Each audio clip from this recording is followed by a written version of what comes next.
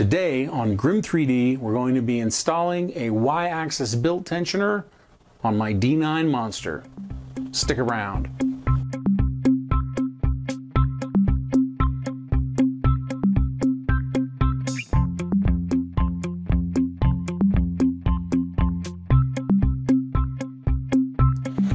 While I have the printer upside down to show people my 92mm Noctua fan installation, I wanted to show people this belt, the Y-axis belt, and what Wanhao uses for a tensioner. So this little clip right here kind of looks like the inside of a clothespin. Is meant to keep some tension on that belt but in most of the printers in fact this belt right here is, doesn't have a whole lot of tension going. I mean it's not bad but it could be better I guess.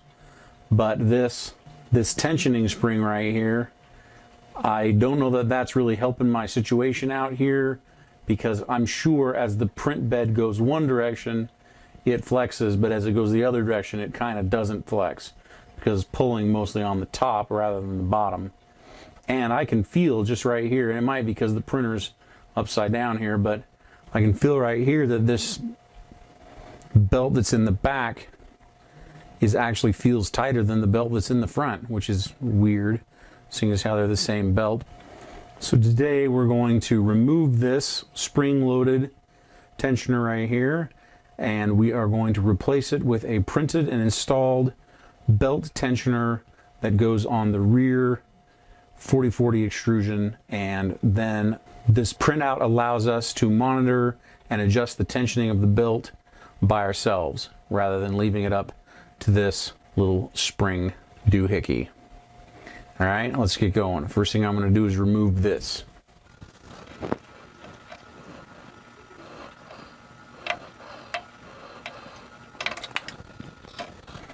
And now with that off of there and my belt tension actually took a little bit of a dip there, not much, but with that off of there, I'm going to tip the printer back over and so we can get to the back of it. Stay tuned.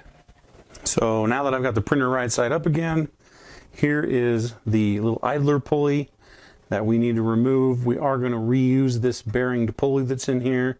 And this is pretty much just screwed into the groove of this 4040 extrusion. So we'll just remove that real quick.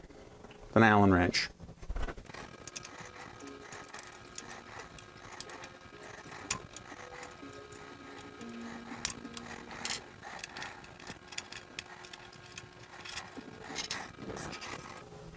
Now that's interesting. These aren't even connected. I would think it'd be much more rigid if they were connected along the bottom there. Not even connected. That's weird. So, anyways, this is what we're after. So here's the equipment that just came off of the printer over there. I'm going to finish removing these T-nuts. Kind of get them out of the way now. Pull this apart.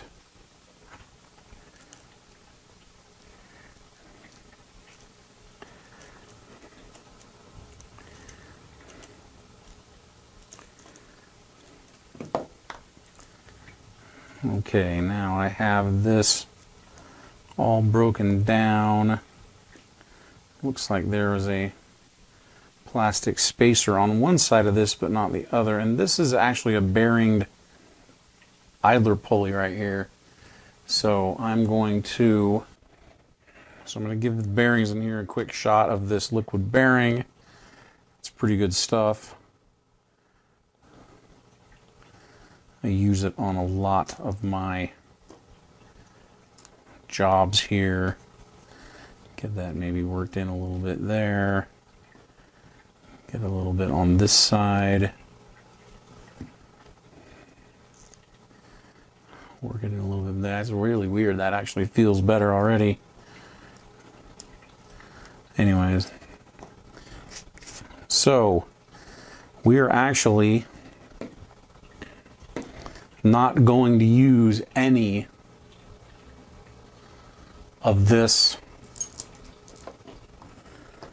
stuff except the bearing. And I don't know if we need that little spacer. You would think that I'm going to reuse the T-nuts, which I really would, except the the belt tensioner outer housing, the holes that are down through here are not big enough to take those screws. Those are five millimeter screws. This is designed for four millimeter screws. So all of this is just going to go be saved for later in case you need it. I'm always big on hanging on to stuff in case you need it. Now this I'm going to start with mocking this upright here. Of course, to get the belt on this idler pulley, I'll have to pull it apart back over on the machine to slip the belt on, but I want you to see what it's supposed to look like. And right here I have all of the hardware that I need to make this happen. Uh, these are T-nuts that I printed that, that require a 4 millimeter nut and that also work with a four millimeter screw that will actually fit down through these holes. So, and then here's the inner carriage. So this is how this goes together. The first thing you would do actually is put the belt um, on this idler pulley. But to mock it up here, we're going to skip that step. So I have this four millimeter Oh, this is a five millimeter actually, five millimeter screw that I'm going to put in here.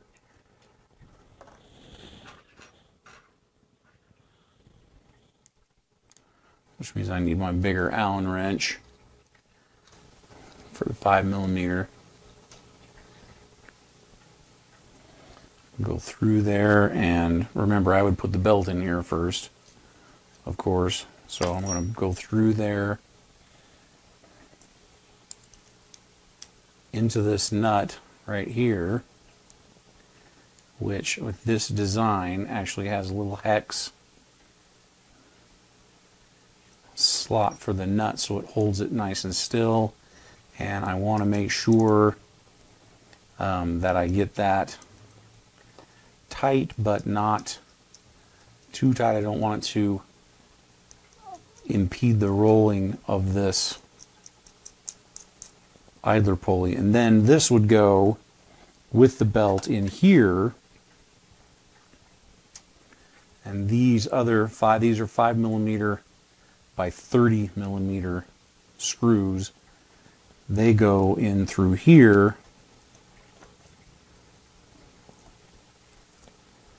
And nut is placed on the inside there.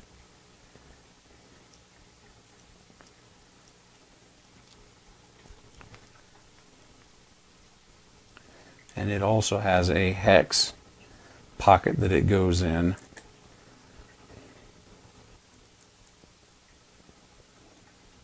Same on this side. The nut in the little hex pocket right there.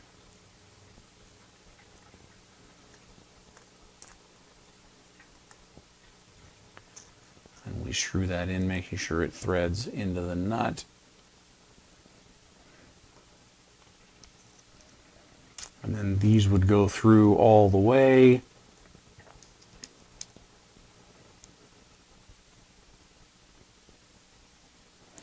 As you can see, the end of this screw right here is going to go into a little pocket that is designed in the end to keep these 30 millimeter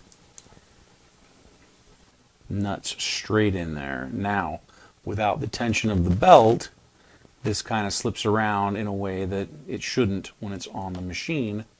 But there's the assembly, and then with my 4 millimeter screws, I can put on my T-nuts ready to go in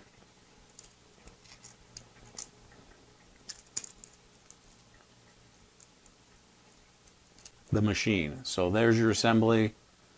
Now Let's put it on the machine. Now, the first thing I want to do is make sure that my placement here is correct from left to right. Um, I need it the same distance, probably from this edge that my drive gear is on the motor. So I'm going to measure the motor's drive gear. I'm going to measure the center of it. So the center of my motor's drive gear is 12 and 3 eighths from the edge of this 40 by 40 extrusion. So we're looking at 12 and 3 eighths, which is right there. So I'm going to go ahead and measure that. And remember, you can adjust this later because it's just held into the 4040 extrusion with T-nuts, which we probably will do a final inspection when we've got it in and make sure everything is running true. So now I'm going to go ahead and center this on the mark that I just made. As I tighten these T-nuts down, I want to make sure they twist properly within the channel slot so that they're sideways and that one I can see right through there. You may not be able to see it, but I can see that it twisted properly. And this one, I'm going to need to get a little light down in there. And I can see that it twisted properly as well. So I can go ahead and tighten these down. Don't probably have to kill these, but I am going to give them a little bit of torque so that they can hold true. Now I did print this on the Prusa. It is printed out of PETG. I did print it fairly solid with probably five perimeters or so, but it is not, I mean, it's solid on the edges here, but it is not entirely 100%. I guess I could have printed it 100%. That would have been fine, but that is pretty solid locked in there. So now I'm going to pull my belt up and this is going to be tricky because I don't have enough hands and I'm trying to make it so people can see what I'm doing. I'm going to actually put the belt in there, get my screw started through the center of that bearing. And once it gets through to the other side, I'll put my nut in its little hex pocket. And I'll get this on there and not super tight. Make sure that it is able to turn. That's too tight. Okay, it turns fantastically, and I'm going to set that in there where I can set up the rest of my tensioner.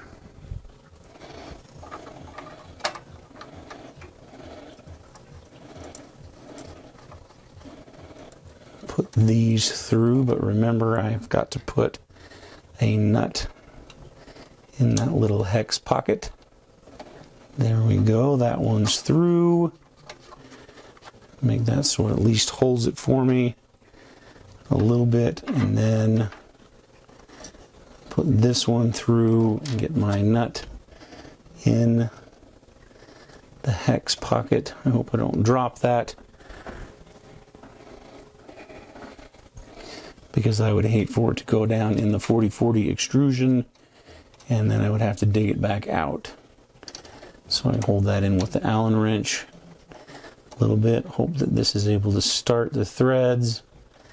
There we go, got it started. Gonna pull this up tight.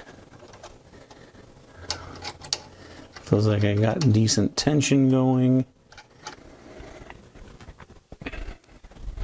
Now I can't really get my camera back in there to give you a bird's eye view, but I'm now going to push the bed back and forth and make sure that the belt runs true. I want it, I don't know if you can see that right here. I want it to stay in the center of that pulley. And so far it is not, so I'm going to tighten up this side a little bit. And then move it back and forth a little bit more. It's still not in the center. Tighten this up a little bit more.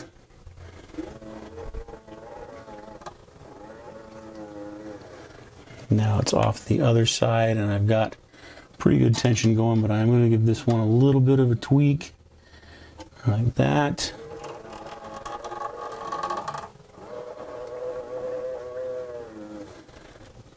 A little bit more.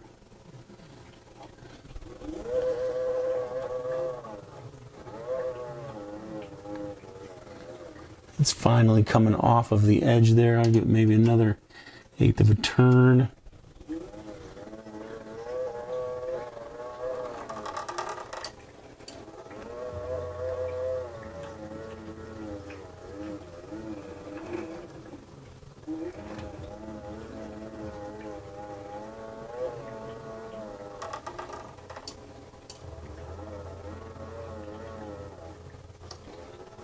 Now it seems to be running quite straight in the center of that idler pulley. That is under the force of me pushing the bed back and forth. It is not under the force of the motor. So now I'll fire up the printer and see if I can get the printer to act the same way. So now that I have the printer on and running and everything's good, we will check out and see about the printer moving under its own power and see if that belt stays centered on that wheel.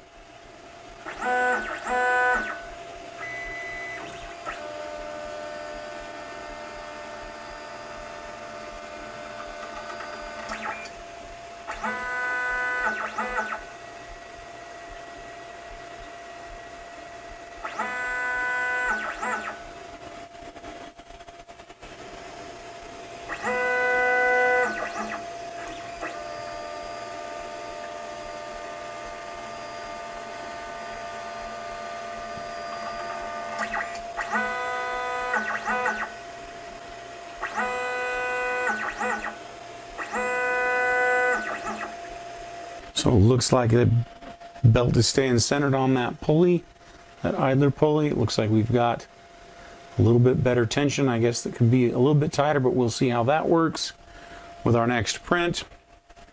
And it looks like we have a success. So looking online, I can see that people recommend replacing those wonky spring-like Wanhao belt tensioners, but to tell you the truth on this one, I'm just gonna have to wait and see. I don't know if this is really the most fantastic way of doing things or if it's just going to warp over time. PETG is fairly tough. It's not ABS, and maybe I should have printed it in ABS, but I don't know. We'll see. Hopefully that'll stay nice and tight. Hopefully it'll stay true, and maybe that will help my gigantic bed as it moves back and forth not have so many uh, inconsistencies, which is, I think, what I'm seeing a little bit of in my prints.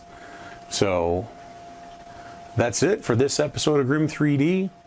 Remember, subscribe if you'd like, leave us a comment. Just remember to keep it civil. Smash that like button, ring that bell, and we'll see you out there.